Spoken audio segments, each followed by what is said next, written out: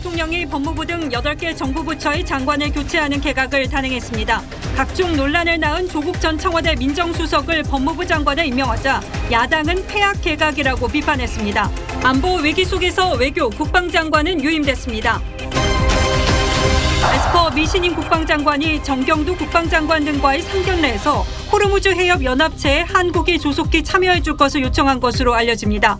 관심을 모았던 방위비 분담금에 대한 언급은 없었습니다. 홍천의 한 어린이집 주차장에서 5살 여자 어린이가 포진 중이던 어린이집 승합차에 치여 숨졌습니다. 국내 대형 여행사가 소비자의 불만 제기에 음식 서비스를 제공한 뒤 발설 금지 각서를 쓰게 한 것으로 드러났습니다. 너무 이게 불쾌했습니다. 일종의 협박으로 좀 느꼈고요, 저는.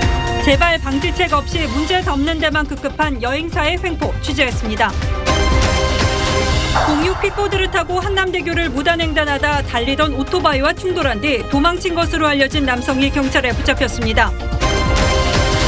중국 히토류 산업협회는 정부가 히토류를 무기로 쓰는 것을 적극 지지한다고 밝히면서 중국이 첨단 제품 생산에 꼭 필요한 히토류를 미중 무역 전쟁의 반격 카드로 사용할 것이라는 관측이 나오고 있습니다.